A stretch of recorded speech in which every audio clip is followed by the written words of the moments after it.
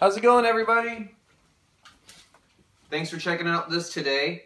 Um, what I'm showing you today is just some tricks on how to stack a puppy and you getting your puppy comfortable being on the table. Uh, notice first thing I do is I put her on the table and I give her some treats right away. Okay. Um, a lot of puppies, a lot of dogs, sometimes they'll be they'll have a fear of heights, and so what you want to do is you want to just gradually work them, get uh, help them work, get their confidence up. Good girl, Yuka. Praise. You need to constantly praise. Good girl. Now I know this bitch's behavior, so I know what she's going to do.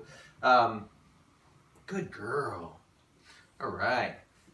Okay. So what I do with the puppy, again, like I do with all my dogs, I grab my arm and put it in between their legs lift, set down, good, and reward. Simple, okay? We're not trying to get them stacked or anything right now because remember, it's a puppy. All we're trying to do is get them comfortable. So here we go again. And this is what works for me, you guys. Take my ideas, incorporate your ideas, and make them into your own. But this is just what works for me. Again, Good girl. Good girl, Yuka. All right, so you're happy. She's happy. She's happy. Happy, happy, happy. Good girl, Yuka. That's a good girl, Yuka.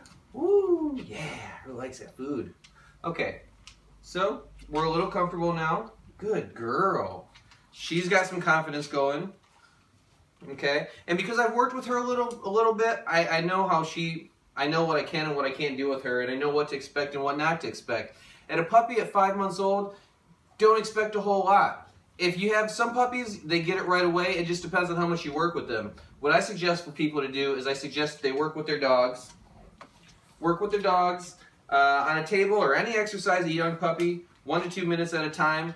You want to make it fun. You don't want to do. You don't want to overdo it with them. Yes, good girl.